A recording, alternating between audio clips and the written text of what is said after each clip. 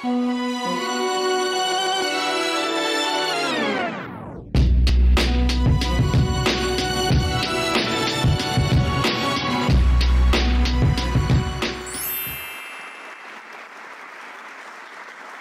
everyone, this is Raina Carrillo with Purpose and Passion. And I'm so excited today because I have somebody that's special to me in the radio industry.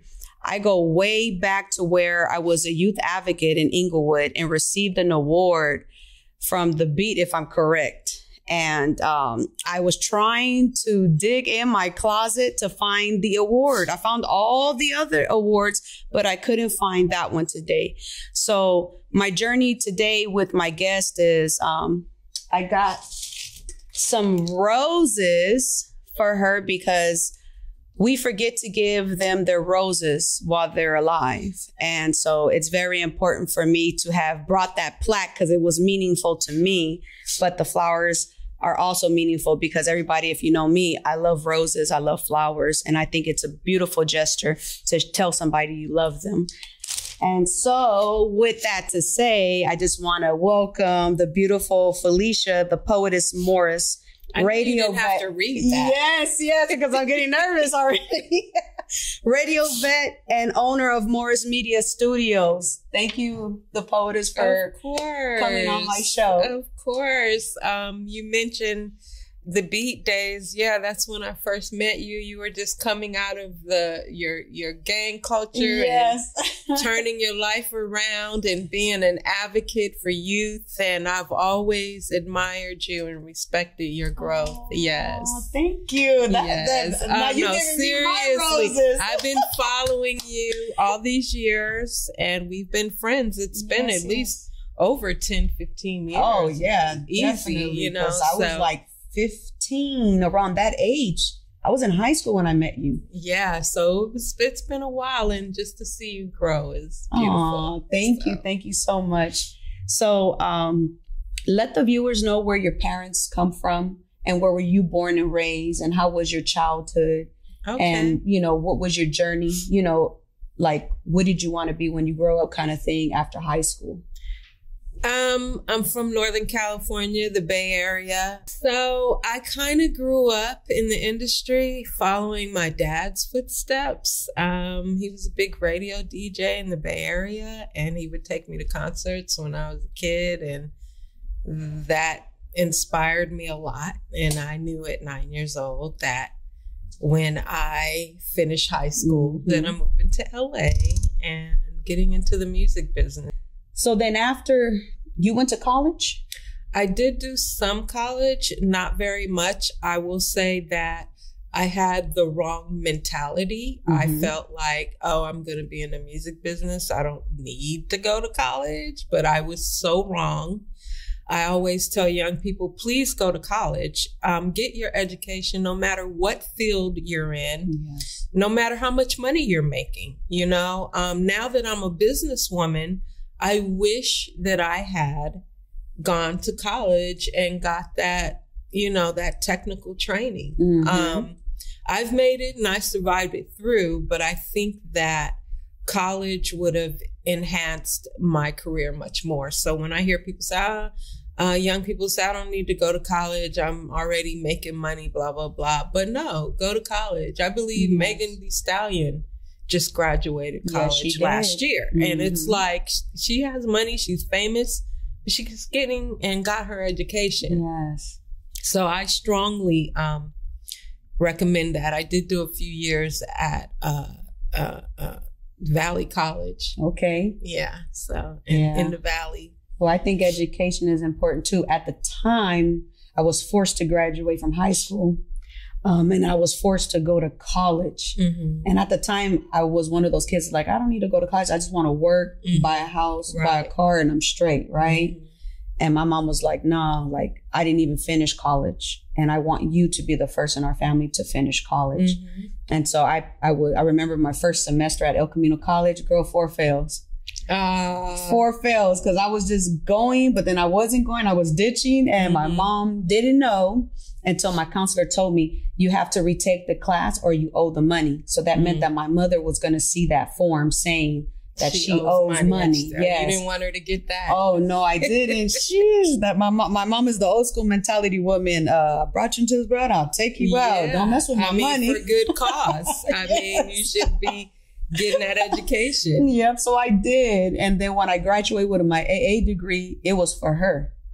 But then when I went for my my bachelor's at uh, Cal State Dominguez, when I walked that stage, it was for me. Yes. Because I started to understand that um, once you go through your junior college, it's kind of like going to high school again, but on a different level, right? Yeah. I, I when I was going to junior college, I said, in high school, they cared if you you attended. In college, yes. they don't care if you no, because it's your it's, it's you. on you, and you have to pay. You It's it's on you. So yes. if you miss class, oh well, it's on you. Yes. Like, but in high school, they they care. You know, about it's that more attendance. Important. Yeah, the attendance. attendance is more important. But I actually became a better student in junior college That's because awesome. um, I knew that I had to study. In fact, I, I I think I was an A student when I was going wow. to college and computer tech and all of that. So, um, yeah, in when you start getting to junior college and, and college, you really have to focus on um, learning. Yes. You know, learning. Yeah, that, like I was yes. even getting into almost really getting good at geometry. I was like, oh wow, like because you gotta like you gotta zone you gotta zone in though. You yes, gotta yes, zone in. You gotta listen to the teacher. You gotta study and you know, and and you'll get it. Yeah. You know? It's crazy. But like I said, when I went to Cal State Dominguez, it was no longer general studies, is what do you want to do? Mm-hmm. And I took um my major was sociology because I like working with people, mm-hmm. you know? And then my minor was criminal justice because my dream was to become a probation officer, get all the way to the top and run all probation because there needs to be a lot of changes and, and for somebody who's not who knows and and yes, has been there yes you yes, know definitely yes so it's just so cool you know you know about just sharing you know your truth because sometimes people don't want to talk about it but it's like mm-hmm. you're being very transparent with our viewers which is awesome because you're telling your story and people are going to be inspired and learn from it and especially the young people that are looking as well you know on a purpose and passion so let's talk about your first your first opportunity in radio. Like this is crazy because I've never sat down and talked to you about um, this. So I'm really excited. So now I'm laying back now. okay. Well, when I graduated high school, Sequoia High School in Redwood City, that's up north. That's like in Silicon Valley. Okay. I actually was studying to be a um, studio engineer. I was one of the first programs that were training kids mm-hmm. to be engineers in Silicon Valley. I actually worked at Stanford Linear Accelerator Center, and um, yeah. Steve Jobs used to hang out there. And I was 18 and I was a lab tech, you know, but it was boring. I, I was like, this is not. I, at nine years old, it was already set in stone what I wanted to yes. do. So no matter what was going on in high school, because I left an excellent career opportunity as a lab tech for Stanford, and I I was I was pretty mature for my age. I already had an apartment with my boyfriend. So I was really leaving a lot behind, but there, it was like, no matter what happens, when I graduate, I'm moving to LA to get into the music business. So I moved to LA. My dad was already out here because he was in the Bay Area on the air and he got a job opportunity here. And so I moved here and moved in with him. And originally I wanted to be a studio engineer, okay. but I went to a few sessions with him and I was like, this is boring. I can't. And so, um, I started getting into hip hop and, and rap and just that whole community here in LA. And I met Def Jeff and, uh, we did a couple of demos. I ended up getting a record contract with um, Interscope, Poetic Groove in, in yes, 91, 92. Yes.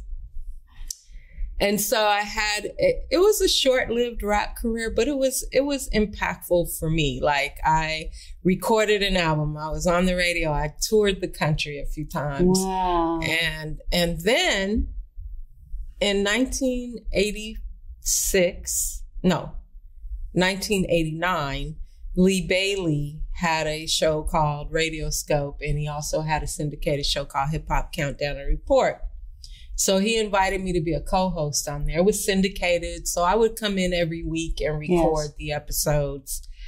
And then um, Michael Mixon Moore, rest in peace. He was a, a, a famous mixer here in the in the um, 80s.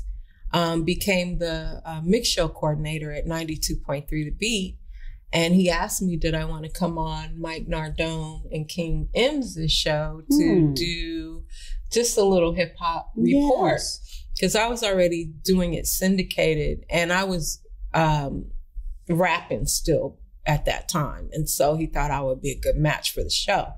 So I came on and girl, when I came on, I just took over the whole show. I just like my little report was only supposed to be like two or three minutes. I was on there like for 15. I just yes. bombarded the show. Yes. I still find myself doing that a lot, just coming in and just taking over. Oh, but um the music director heard me and she offered me a job. She goes, Do you want to be on the air here. Now, I used to record syndication. I never had yes, live, live, radio, yeah. you know. And I was like, why not? So I started doing weekends there and uh, I was pretty green in the beginning, you know, because I didn't really even set out to do radio. Yeah. I was going to be a rapper, you know. And, uh, um, and then I ended up being at the beat for like 13 years. Like I was yes. the longest standing DJ there. Everybody was getting fired. I survived new management, new ownership, everything. new everything. and I quit. I didn't I was never fired. I resigned because I saw that the station was going in a direction that was n- not of my particular yeah. liking, you know. Mm-hmm. So I took, I was already working for Sprint Mobile, so I could yes. afford to kind of quit because I, they were paying me more than the station actually. And a few weeks later, Jamie Foxx, uh, um, I saw Jamie Foxx had a show on Sirius XM and, you know, me and Jamie go way back to before, uh, he was famous. Yes. And, um, and he, I called him. I said, Hey, I said, I heard your show. You guys are crazy. I never heard just, just such, uh, such outrageousness. Yes. Like I called him. I was like, yeah, this is, your show is crazy. And he goes, come by, come by. And I was like, yeah, yeah, yeah, whatever, whatever. And so I run into Speedy, his other co-host, and he tells me, I ran into Speedy in Atlanta and he was like, um, you should come by the show. I said, let me just come by the show. And so I came by the show and, you know, I was sitting on the sidelines and just watching. Jamie was like, no, come sit at the table. Yes. So I sat at the table and I saw how unorganized they were. They were just, they just had newspapers and magazines and just snatching stuff out of the air, yes. you know, but I come from a radio background. So, um, I started organizing even during the um the show i uh-huh. started organizing the, the the talk. And so jamie goes um you know come by the house tonight. So came by the house and he goes i want you to be a part of the show. He goes i don't have any money to pay you right now but i just want you to come and be a part of the show. I was like, yeah, to come hang out on Fridays and yeah. laugh and drink and eat and just have fun. Yeah, just have yeah. fun. so a few months later, they hired me and I was ended up producing like five shows on the Foxxholes uh, Sirius XM wow. network and it was one of the highest paying jobs, one of the most fun. Um, I traveled the country a few times with Jamie. Um, and it was just one of the best jobs ever. So I'm going to say to some of the young people out there, sometimes you may not get paid mm-hmm. up front. You may uh, have to do a lot of things for free, but it's not really free. You're getting the experience. Uh, you're building the relationships. Um, I didn't, I didn't think twice about saying, sure, like I could have yeah. did it continued doing it because it's the experience. No pay. Right? It, it, it, was fun, and the, mm-hmm. for me, it was the exposure. I already had the uh-huh. experience. Okay, so, okay. Um, so I ended up working there a few years and then um, Jamie got busy and they ended up taking uh, taking the show off. And then I got into internet radio, podcasting. Yes. That was my next um my next thing was uh I saw this is where radio is going. Yeah. And it was the freest form Yes. of broadcasting because with traditional radio you can't cuss you gotta stay within the confines Yeah. of time every second in traditional radio or terrestrial radio counts yes.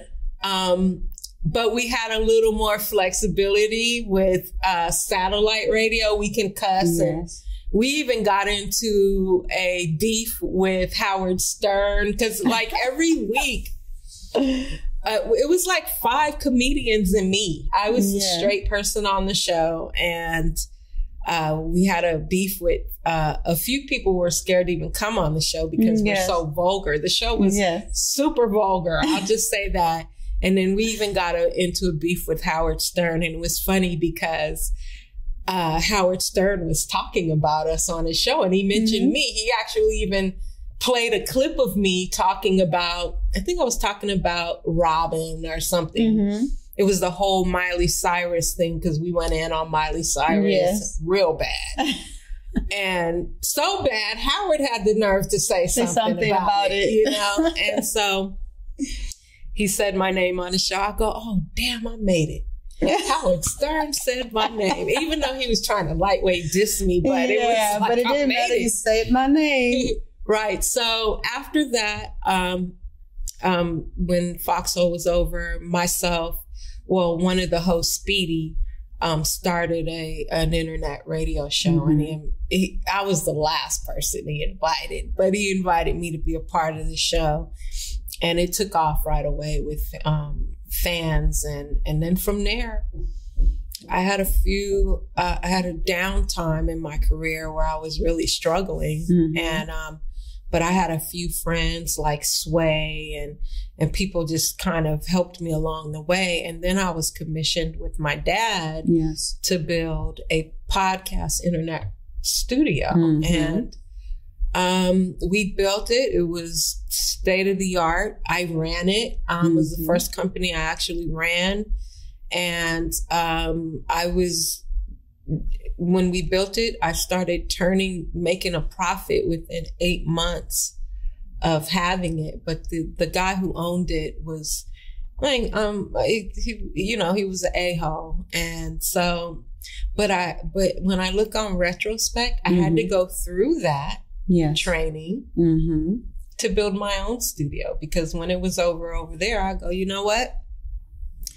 I don't want to work for anybody anymore. Yes. The landscape of radio Mhm. has changed drastically, and podcasting is where it's going. And I just I set out to build Morris Media Studios. I didn't have a lot of money. Yes. I didn't have investors. I didn't have. I did a, a crowdfunding campaign Mm-hmm. because I had fans who have been with me since my early rap days up to all my radio years and That'd be me. really built a fan base on Jamie Foxx's show Yes. because then I was on a, a national platform. Yes. So I took that and I did a crowdfunding campaign. I was able to, I raised probably close to $50,000. And then a friend of mine that I used to work for when I was a teenager said, Hey, I see you're doing a fundraiser. How much do you need? Yes. And I was like, I need, you know, at the time I said 35,000. And he goes, well, come pick up a check like it was nothing. And so I That's a said, blessing. I said, well, hold on. That's a blessing. I said, let me find a vi- a place because I didn't even have a place, but I Mhm. had a business plan. I had the will to do it, and um, found a place over on Crenshaw. I mean, I looked everywhere: Hollywood, um, Culver City, everywhere, and and then a friend of mine says, "I want you to come look at this place down the street from me. It's you know, I think it's perfect." And then when I came in, I was like, "Oh my god." this is perfect.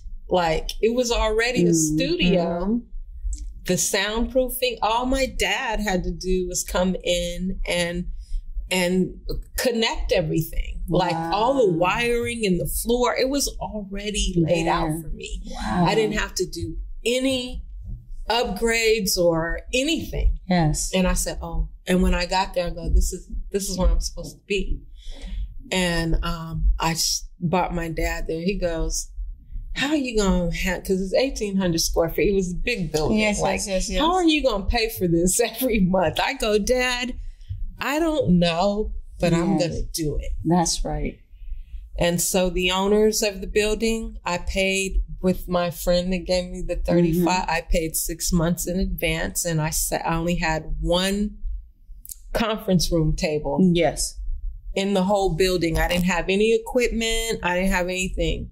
For six months, I sat at that conference room table, looked out on Crenshaw, and every morning I would hear this saxophone player. It was just, oh wow, it was just a beautiful thing. It was just like, okay, uh, it made me feel this is what I'm supposed to be doing. Yes, but I really struggled, and thank God that, I, and I really struggled and stressed out a lot in the beginning. Yes, but when I um realized that this was my purpose.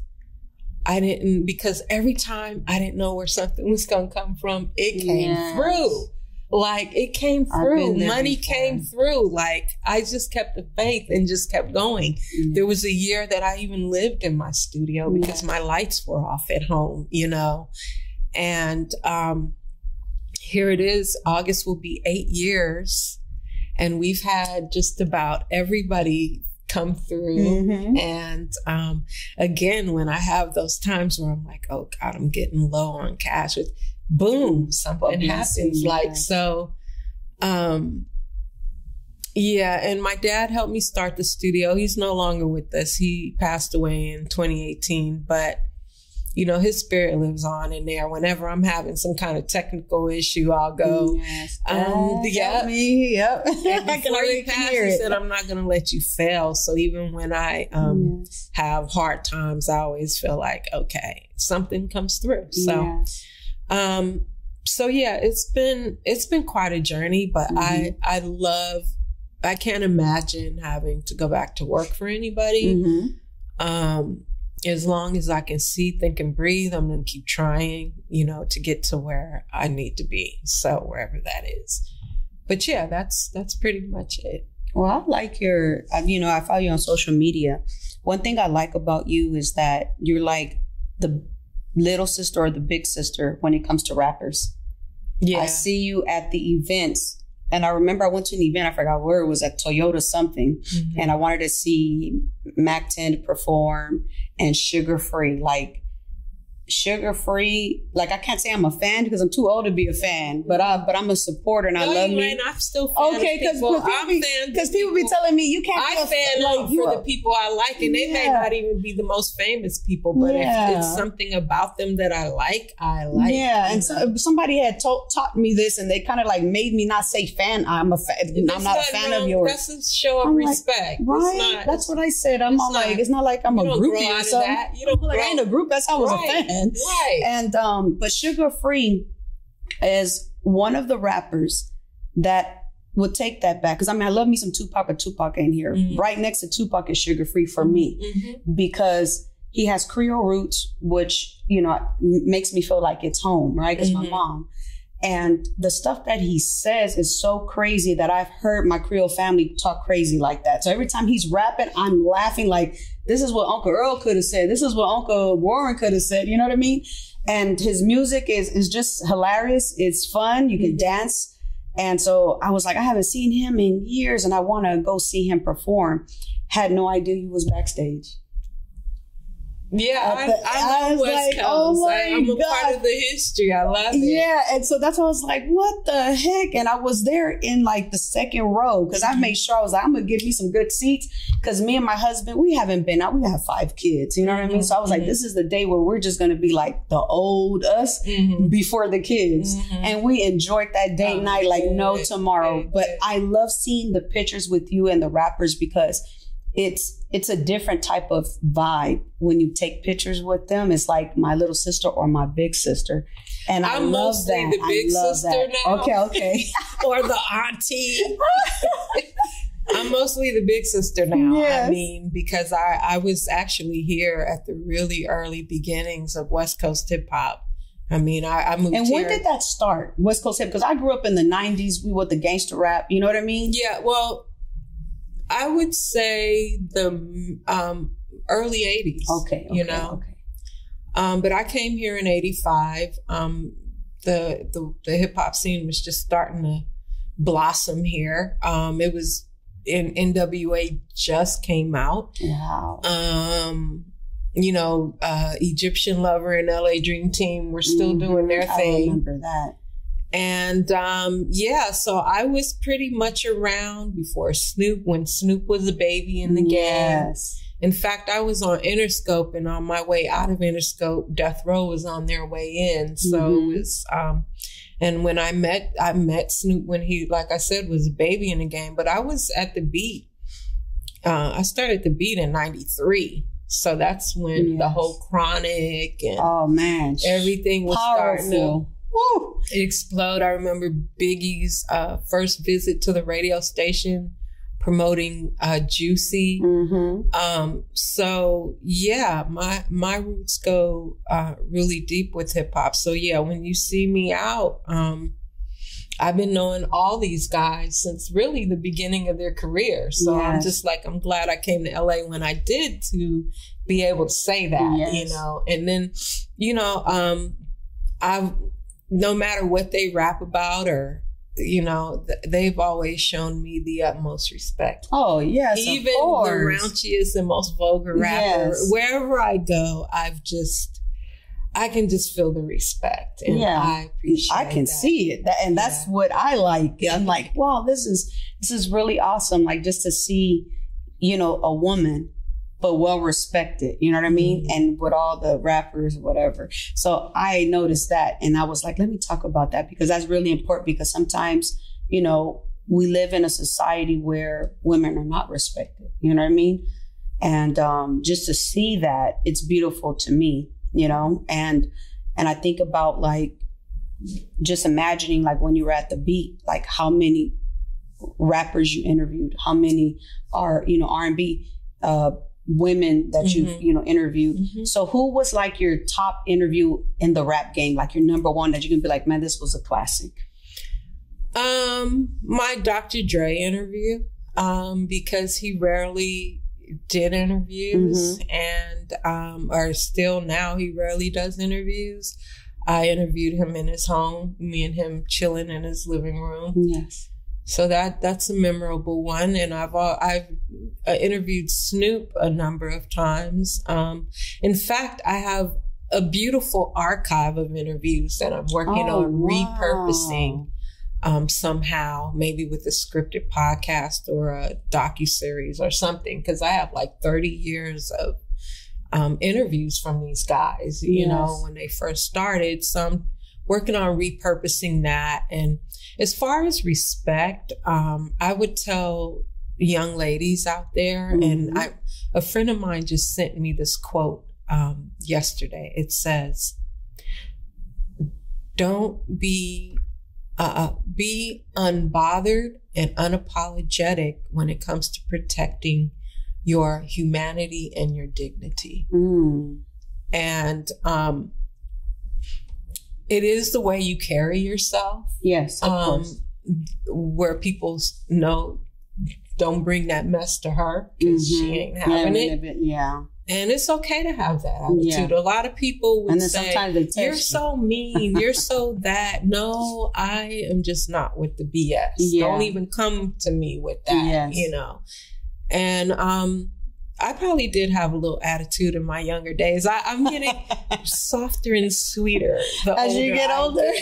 you know. But um, yeah, maintain your dignity and your respect. You don't, I've never had to sleep with anyone I didn't want to sleep with. I hear you. um, so, you know, um, if that opportunity passes you by, there's the universe is abundant. There's plenty of opportunities yes. out there. And you don't want to be working with a, a person that makes you feel uncomfortable or yeah. out of your moral uh, compass. You yes, know what I mean? So I've been able to manage to navigate through this with everybody, getting respect from everybody. Even there's been a few times where MTV has sent me out on gigs and they're like, well, this artist, you know, be careful. They, you know, yeah. they, they might disrespect you or they might do this or do that. But when I get there, it's just the opposite. It's, it's almost kind of weird. Yeah. You know, like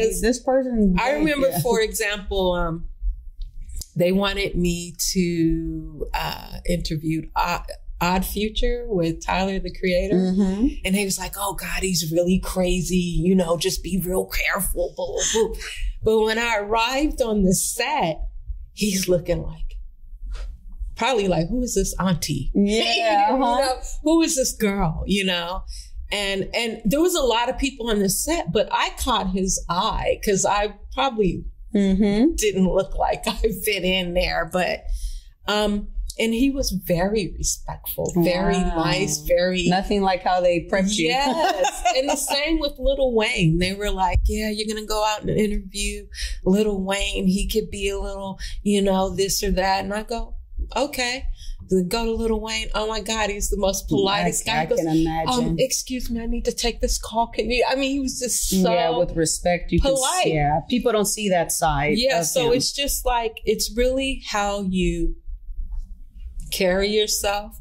Always be professional. Yes. You know, um, I've worked around, you know, a lot of millionaires and just do the work, mm-hmm. do your job, do uh, be professional. Yes. You know, if someone's hiring you to do something, you do that job. Yes. Don't try to hang out and be friends and blah blah blah. Um, I mean, it, it could be like that, but always when you're with your boss or keep someone's professional. Paying, keep it professional. Mm-hmm. Period. You know that makes sense. So you guys better remember that. No matter what, you always keep it professional. yep, keep it professional. Yes. Do the work. You know, they say this generation of um, young people don't want to do the work. Do the work. Yeah. It I, builds character. It sure does. It builds your foundation. Um, you won't just be a fly by night type of person. You'll yes. have a foundation, you'll have the experience, and you, it'll help you expand your skill set because even right now, mm-hmm. like when things were with the pandemic, I, um, business got really slow from, and yes. still is slow, but I can edit. I can do so many things. Yes so now I'm maximizing my other skills. Yes. So it's important to learn as much as you can, do the work, get the experience, and you'll you'll last a long time in this business. Something is coming to me right now regarding what you were talking about, like the footages that you've had mm-hmm. with, with, you know with celebrities or rappers. Mm-hmm. Um, you should do, I don't know if it's YouTube or you can create your own network to where people can pay to see these things. Because I see a yeah. book. I see, I see, I started a book. I see a book and I started I a book with pictures and describing yes. because not very many females have done projects that document the history yes, of West Coast yes. particularly. So. And and if, if and if it's about West Coast, there's always a man narrating the right, situation. Right, it's never a woman. Right. I have some ideas in mind. I just have to dedicate more time to it yes. um, because I am running a business and trying to keep my you know my doors open. Mm-hmm. So it, it takes up a lot of my time, but I know that this is an important thing for me to do. I was also thinking about doing a, you know, a scripted podcast series, okay. um, telling my, the story from my perspective. Mm-hmm. So, and then adding all the sound bites yes. and elements to it. So there's so much I can do and so many opportunities that I have in LA. And it's just because I see it on Netflix. It's crazy. Like when God shows me things, I'm just like, it's just like, And I have I the opportunity. I I, have see- the open I door to see. go anywhere. I just yes, have to. you got to do it, and you need to do it, and you need to do it before the end of this year. Yes. meaning like at least make Well, sure the task This is complete. the other project I want to do. Okay. And I'm going to put it out there so that I can, you know, really Yes, try to do it. course. This year's the 30th anniversary of the release of my album. And I never released The first it. one, right? I only Like, did one yeah, album. album. Okay. So I never released it digitally. So I'm thinking Oh. about releasing the album You digitally and putting some new remixes or a new track on there and um and just throwing it out there. You know, should. do a whole campaign. you yes, know, no, you should. I I'm getting a good vibe about that. and, I'm like, you know what? My album, it's not like my album went gold or platinum or no, anything, but it's still your still, album. It's still your Yeah, album. You know how many people like that's why I tell people right now.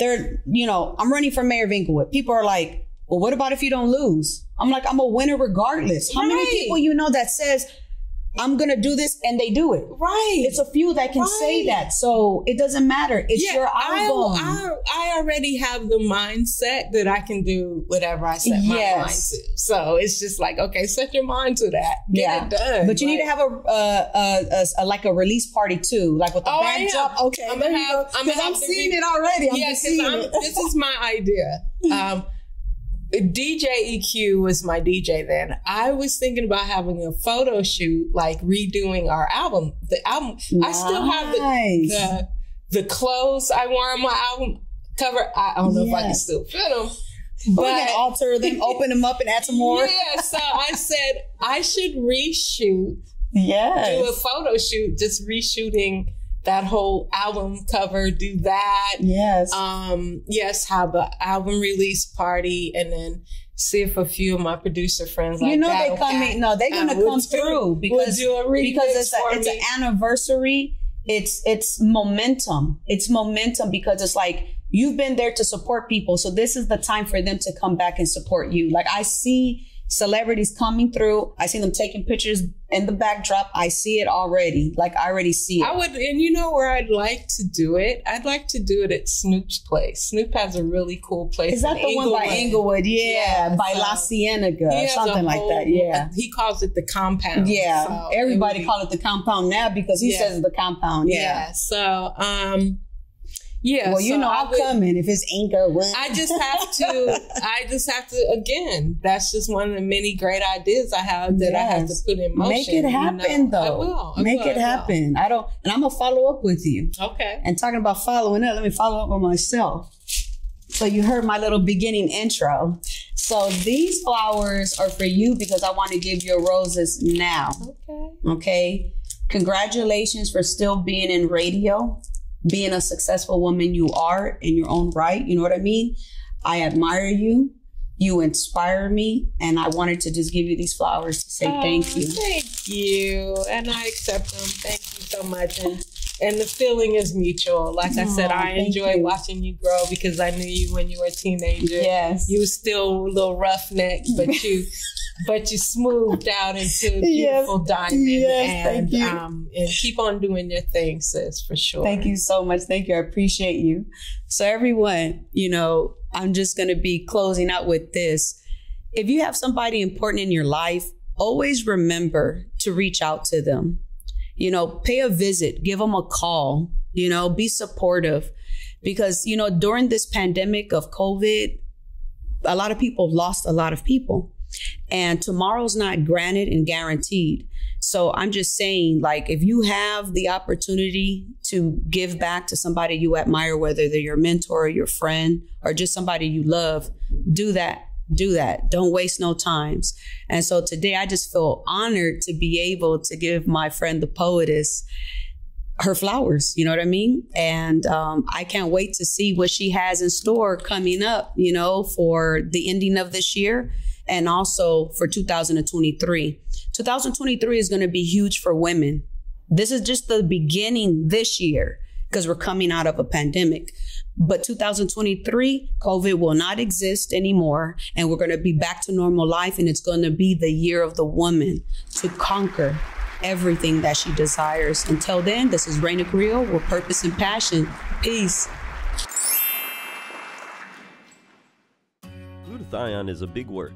It's the body's own master antioxidant.